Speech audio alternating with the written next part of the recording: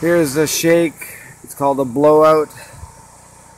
You can see it's fine. The shake is fine, but as it goes higher where it tapers thin, they have tar paper showing.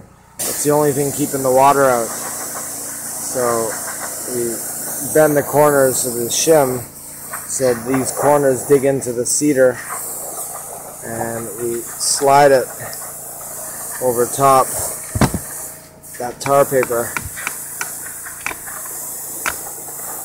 Make sure it goes in straight, like that.